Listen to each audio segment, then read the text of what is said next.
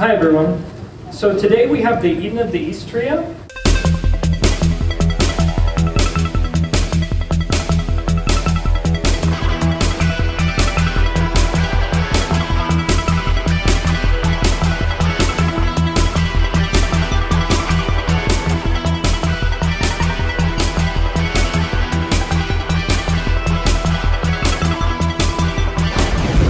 What are some other uh, anime you have worked on, and uh, also how you got into the industry and how you got into your jobs?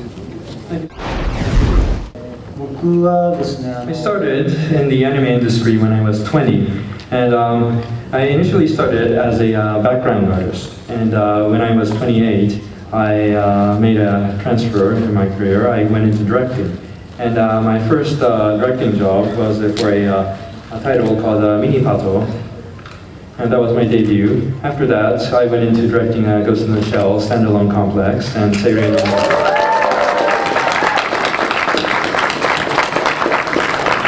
a uh, show called uh, no Moribito, and uh, for the past few years I've been working on uh, Eden of the East, TV show and movie. Uh, when I was in high school, I was very impressed by uh, a show called Ideon, and um, in particular, uh, the, uh, the animator uh, Tomonori Kogawa was my biggest influence from, from Ideon. So that's when I wanted to become an animator. Uh, so I went to animation school, and then after I finished animation school, I sought a connection to uh, Mr. Kogawa and managed to become one of his uh, uh, proteges. And since my late, uh, in my late uh, 30s, I've been working with director Kamiyama uh, ever since uh, standalone complex. So I've been very lucky and happy.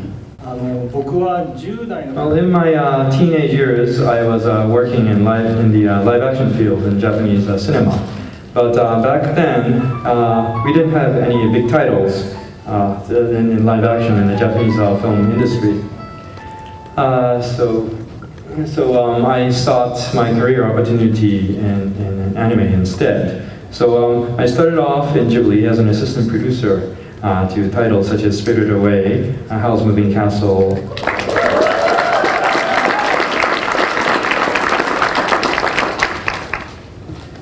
And, uh, and then uh, I got to know uh, Mr. Mamoru Oshii working on uh, Innocence.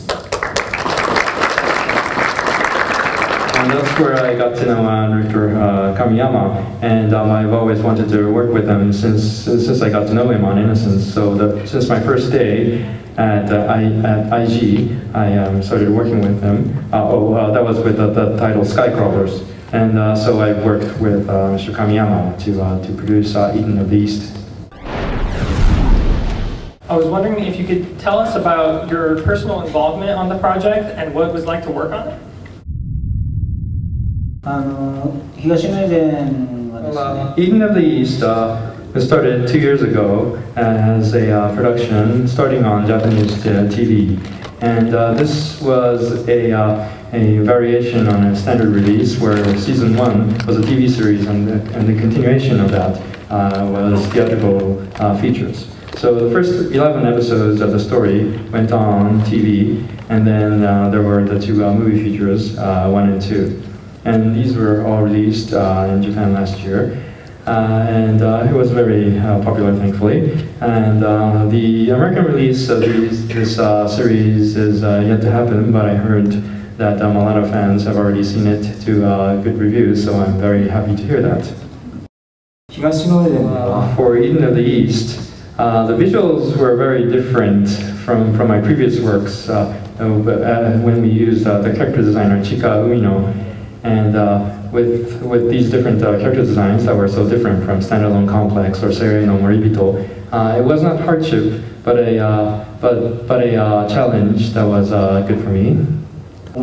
Now today, in Japan, it is, it's become very difficult to come up with good anime because um, since Japan has become well off economically today, um, you, we've run out of things to overcome. you don't know what you have to what, what you have to fight against, and uh, it's this kind of lack of inspiration that is putting us in a stall. But uh, Director Kamiyama came up with a very innovative idea of what the uh, Japanese uh, people of today might see as a uh, challenge to overcome. And um, I'm very uh, curious to see how an American audience would perceive this kind of Japanese struggle in this show. Now, some of you have worked on the highly acclaimed Ghost in the Shell standalone complex, and I was wondering, I was wondering if uh, if you could tell us a little bit about your involvement on that project, and also uh, how it's been since you've kind of completed work on that, and uh, if you've had to work a lot with the original mangaka Masamune Shirow, and how that that was uh, working with him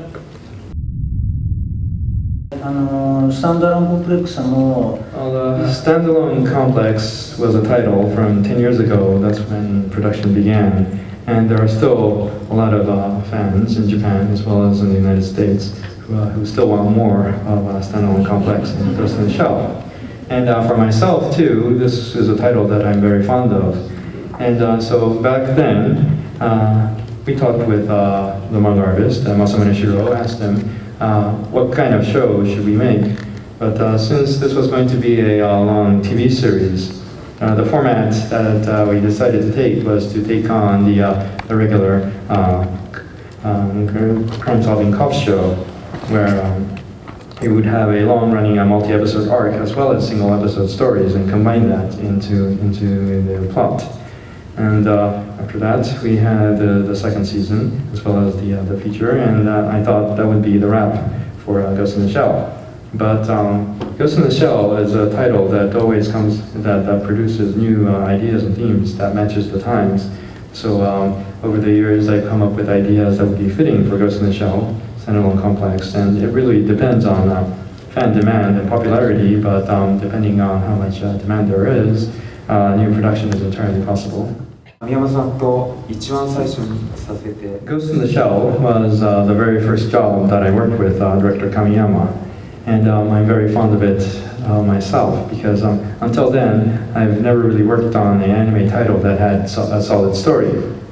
And uh, Ghost in the Shell was different because it has a very solid story, and as an animator, I was very happy working to uh, work with such a title. And um, I'm very happy that um, it was such a long title that I got to work with, with uh, director Kamiyama as well as uh, on this story.